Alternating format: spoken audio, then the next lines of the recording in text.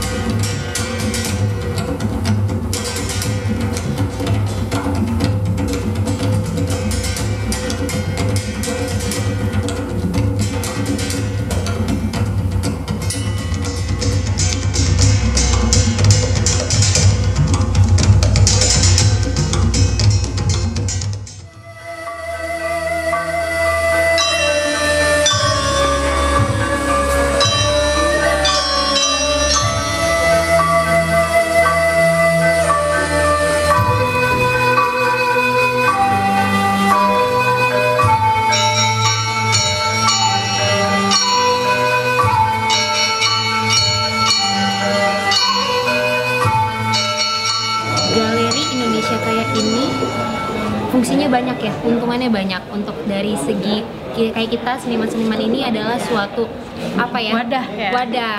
Kita bisa menyalurkan apa yang sudah kita punya kayak misal karya tari entah musik atau apa. Jadi untuk galeri Indonesia kayak mantap. Top market